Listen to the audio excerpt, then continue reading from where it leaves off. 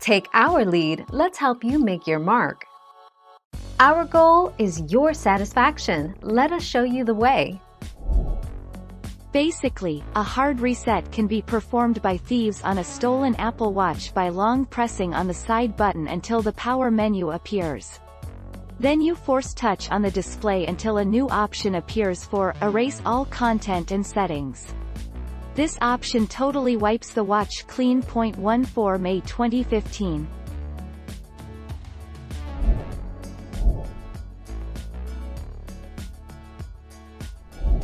Let's help you make your mark. So if your watch is lost or stolen, you can use Find My to help you find it again. And thanks to Activation Lock, your Apple ID and password are required before anyone can erase your Apple Watch and use it with their iPhone.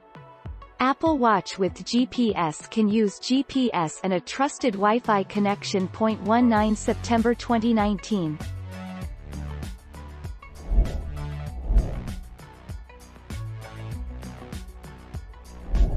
Make your mark, take our lead. There is no official way, like there is on the phone but you can go into the Apple Watch app then into sound and then slide the haptic strength slider up and down and it will make notices. No watch ping. Watch does ring for incoming calls on its paired iPhone.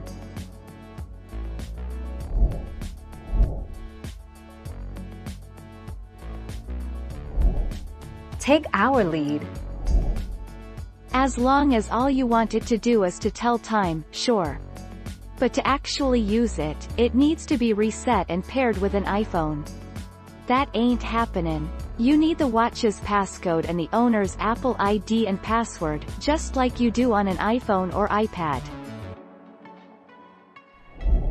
Thank you for watching. Please subscribe and hit the bell notification.